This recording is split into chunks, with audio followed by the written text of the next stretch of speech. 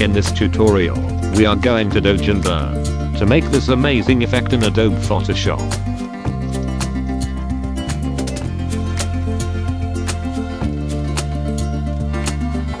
Go to adjustment layer and choose curves.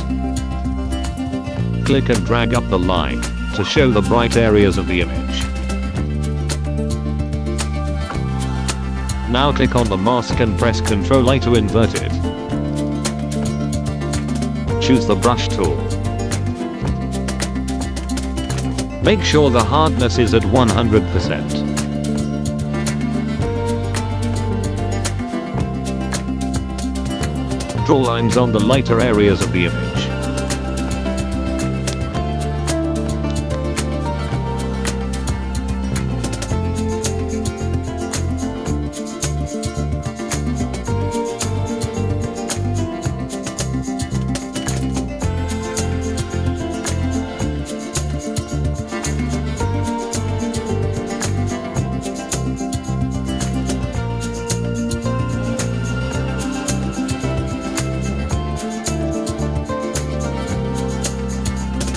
Double click on the mask to open properties.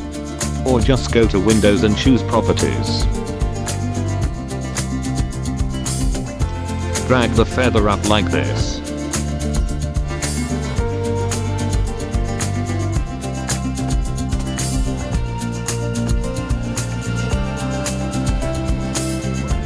Go to adjustment layer and choose curves.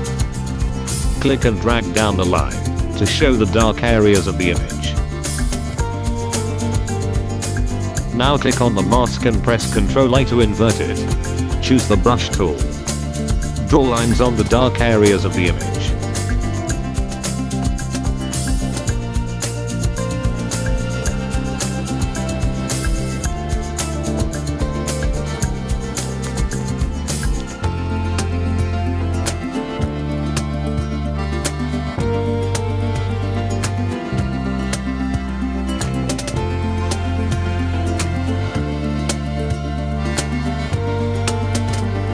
Double click on the mask to open properties.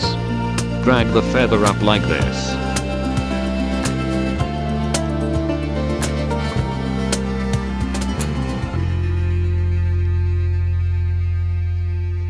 Click on both layers while holding the shift button and group them by pressing Ctrl G.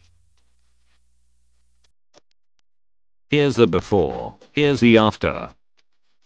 Let's duplicate this group to make the effect stronger. Go to adjustment layer and choose brightness contrast.